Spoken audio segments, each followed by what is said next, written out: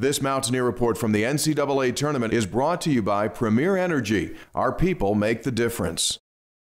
And we welcome you to Boston, everyone, as West Virginia is getting ready to tune up for tomorrow's game against the number one seed Wildcats of Villanova.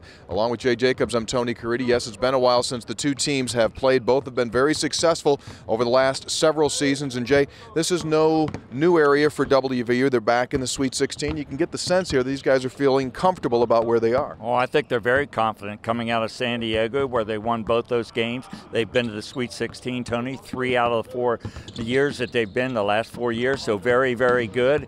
Villanova, on the other hand, has six players in double figures, so it's going to be a hard guard for West Virginia. No mistakes, and West Virginia cannot get off to a poor start shooting because this team will just drill you with threes. They're very good in transition and they score the basketball. So right now, West Virginia, as you said, getting ready, but it'll be a big game tomorrow night. All right, the ultimate challenge for the Mountaineers and head coach Bob Huggins and the rest of the Mountaineers meeting the media today to talk more about this matchup.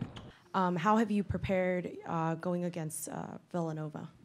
Well, pretty much like we do everybody else.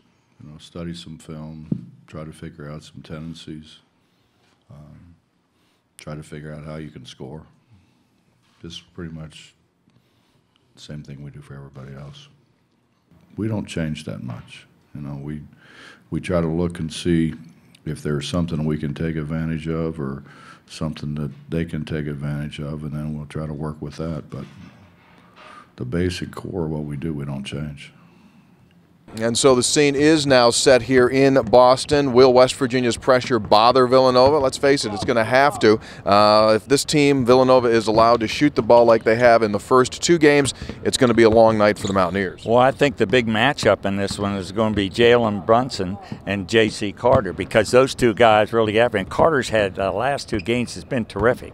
He's held John Elmore and Jonathan Stark really down, but he's also had the good offense, averaging 24 plus plus a game in the two games out in San Diego. So right now, very good. They're all feeling good about themselves. They have a lot of confidence and they're ready to play. All right, tip off just a little before 7:30 tomorrow night. Our pregame coverage on MSN Radio begins at 6:30. We invite you to join us. Along with Jay Jacobs, I'm Tony Caridi from here in Boston on WVUSports.com.